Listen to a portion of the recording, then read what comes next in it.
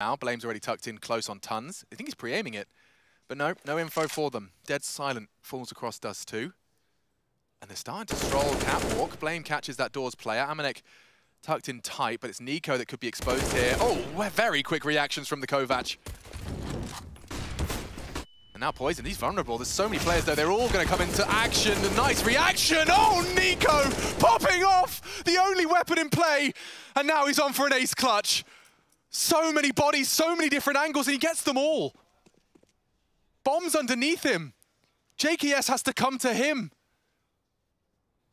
And he's aware. NiKo's looking the right way. Oh, NiKo. Oh, NiKo, you are unreal. Nobody.